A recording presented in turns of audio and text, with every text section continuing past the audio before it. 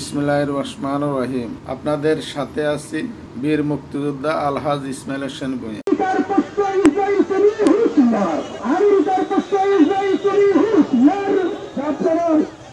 সোমবার কলকাতায় বিক্ষোভ মিছিল বের করে হাজারো ধর্মপ্রাণ মুসলমান। গাজায় ফিলিস্তিনিদের ওপর ইসরায়েলের আগ্রাসনের প্রতিবাদে রাস্তায় নামেন তারা।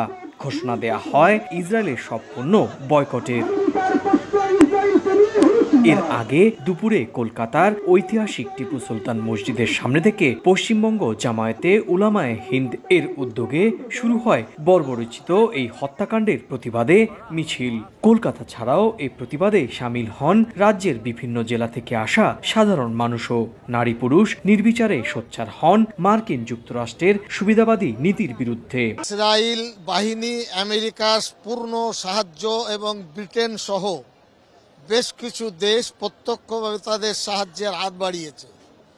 এইরকম জুলুম, অত্যাচার দেখা যায় না। আমরা এতদূর থেকে মানবিক সহায়তা দিতে পারব, প্রতিবাদ করতে পারব, অ্যাপিল করতে পারব। প্রতিবাদকারীরা মার্কিন যুক্তরাষ্ট্রের কনসুলেট অফিসের সামনে বিক্ষোভ করার অনুমোদন চেয়েও পাননি। তবে বিক্ষোভকারীদের প্রতিনিধি দল গাজায় হামলার প্রতিবাদে স্মারকলিপি পেশ করেন। নারী পুরুষ নির্বিচারে সাধারণ মানুষও এই প্রতিবাদে সামিল হয়েছিলেন।